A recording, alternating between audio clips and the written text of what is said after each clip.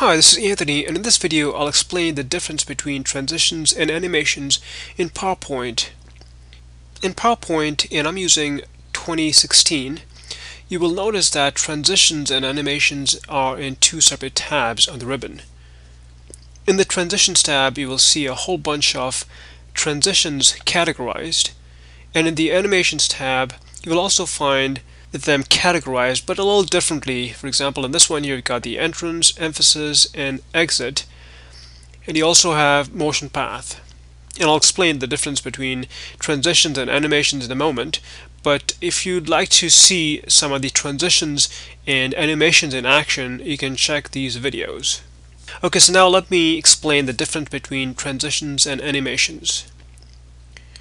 So the main difference between the two is that transitions apply to slides, whereas animations are applied to elements or objects on the slide like text, uh, graphics, pictures,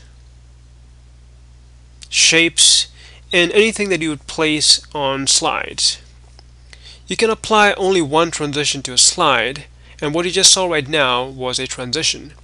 Whereas when it comes to animations, you can apply multiple animations to an object on the slide.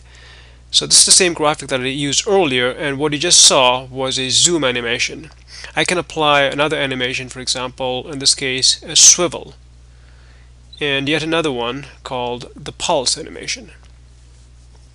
I will be creating a separate more in-depth tutorial to show you the intricacies of transitions and animations, but for now let me quickly demonstrate how to use PowerPoint transitions and animations. So I'm in PowerPoint 2016 and I'm going to show you first how transitions work. So I've got two slides here, slide 1 and slide 2 and when you move from one slide to the other you apply transitions and you apply the transitions to the following slide, or rather the transition, and in this case slide number 2. So for example, when I move from slide 1 to slide 2, I'm going to apply the gallery transition. Now in order to do so, you would go and click on the Transitions tab, and then pull this menu down, and then choose the gallery transition. So once you do that, you can click this preview button to see what it looks like. As you can see, that's what the gallery transition is. If you take a look in presentation mode, you would click on slide 1 and then click on this presentation icon and that's what the gallery transition looks like.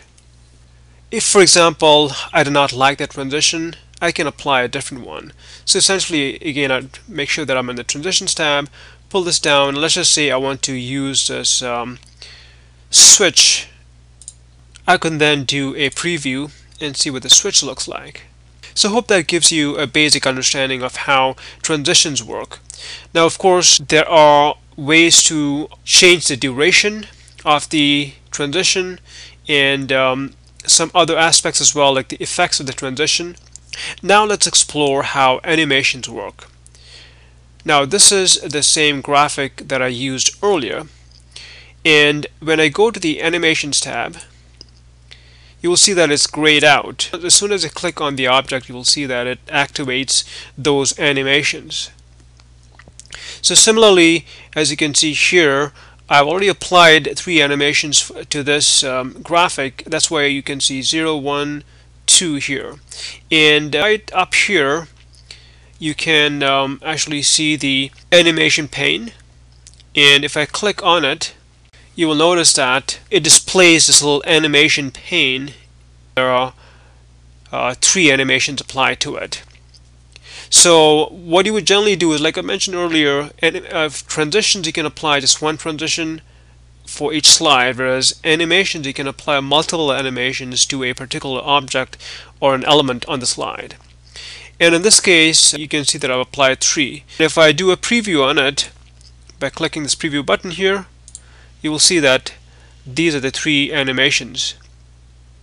So essentially I've got a zoom, I've got a swivel, and then I got a pulse. Now similarly like I mentioned earlier, um, for animations you can change the duration, you can add to add multiple animations you click this button right here and you can apply delays, You can also double click on a particular animation in the animation pane it'll open up this dialog box and it'll allow you to do some uh, finer adjustments. Again, like I mentioned, I'm not going to get too much into detail in this uh, presentation.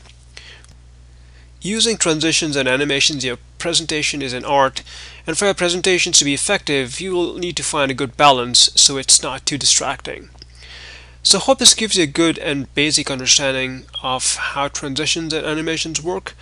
You can feel free to check the video tutorials on my YouTube channel. And if you've got any questions, uh, please feel free to leave them in the comment section. See you in the next video, and thanks for stopping by.